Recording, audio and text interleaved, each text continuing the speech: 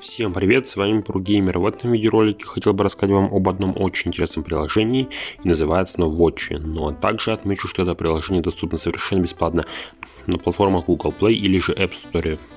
Ну а на платформе Google Play это приложение имеет вот такую вот статистику. Статистика довольно-таки хорошая, не у каждого приложения есть и подобное. Ну а также перед началом самого видеоролика хотел бы попросить вас подписаться на мой канал, ведь меня смотрит большая сила аудитории без подписки. Подпишитесь, мне будет очень приятно. Но мы начинаем сам видос. Итак, при входе в приложение открывается вот такой вот интерфейс. Интерфейс довольно-таки несложный, разобраться в нем проще простого. Тут есть три функции. Это главный раздел, создать, а, обработать точнее ваш видео или же фотографию и настройки. То есть нажимаем на плюсик, выбираем видеоролик, который мы хотим закинуть. Сейчас он у нас экспортируется в это приложение на обработку. А, экспорт занимает по длительности в зависимости от вашего видеоролика, сколько сильно, насколько сильно много он весит. То есть вот если он мало весит, он загружается быстро. Если много, соответственно, будет загружаться долго. То есть вот. Тут загружается примерно мой, который я загружаю, он где-то примерно секунд 30. То есть вот. Итак, вот та область, которую у вас э, выделило приложение.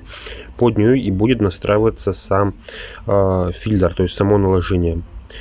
Вот, вы ее можете вручную выделить, то есть э, просто тыкать вот этой палочкой. И все, впрочем-то, далее у вас, видите, уже накладывается такой вот эффект. Глич эффект тут есть, э, размытый какой-то эффект, то есть приближение и так далее. Эффектов достаточно таки очень много.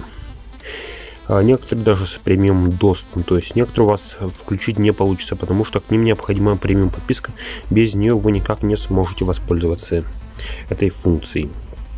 Далее, то есть как вы делаете, можете применить сразу же все это дело, то есть вот просто нажать на применить или же самостоятельно его подредактировать. То есть нажимаем на стоп а, и уже в нас тут есть настройки посередине, нажимаем на них и там уже можно немножко все это дело подкорректировать. То есть вот интенсивность, а, непрозрачность, то есть вот и скорость текстуры. Вы тоже все это дело можете подредактировать, если вам, конечно же, это будет нужно. То есть довольно-таки можно сделать что-нибудь крутое из этого.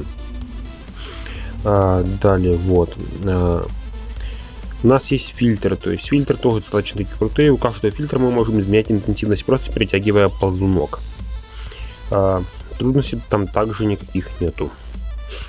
Далее, как мы все сделаем, то есть нас результат уже устраивает, который у нас получился, мы можем просто взять все это дело и применить. То есть вот, э, далее можете посмотреть, конечно же, настройки, если вам будет это нужно. То есть вот и в правом верхнем углу вы можете сохранить ваш результат, то есть чтобы принципе, все, вы считаете, уже все сделали. А, далее, то есть можно уже не заморачиваться и просто сохранять. А, зачастую вот это и есть весь интерфейс данного приложения.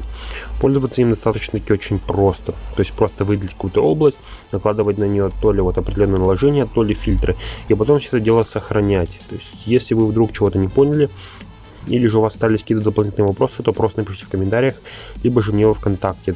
Я вам постараюсь объяснить, что к чему. Ну, а на этом я буду завершать сам видеоролик. Спасибо всем тем людям, кто досмотрел его до самого конца. С вами был ProGamer. Всем до новых встреч, друзья. Увидимся в следующем видеоролике.